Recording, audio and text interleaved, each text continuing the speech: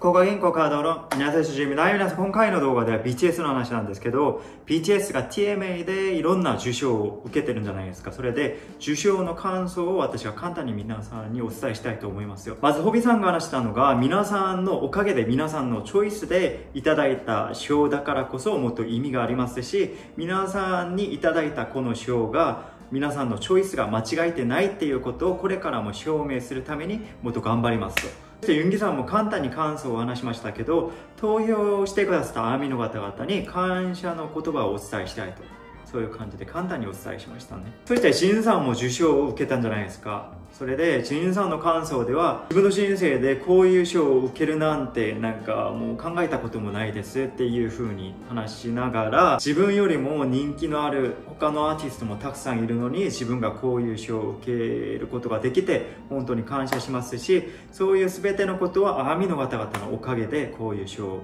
受けられたのでこれからもこの残りの活動をもっと頑張ってしますっていうふうに言いましたのでちょっと残りの活動っていうふうに話しましたのでちょっとこれがまるで兵役の前の残りの活動っていうふうに聞こえましたので、まあ、まあ気のせいかそれともまあ言い方がちょっと私が勘違いしたかもしれないですけどとにかく残りの活動頑張りますっていうふうに言いました。はい皆さんとにかく私が用意した動画はここまでですけどこれからも BTS に関してのいろんな情報を皆さんにお伝えしたいと思いますのでぜひチャンネル登録してまた遊びに来てください。ってことでしょう。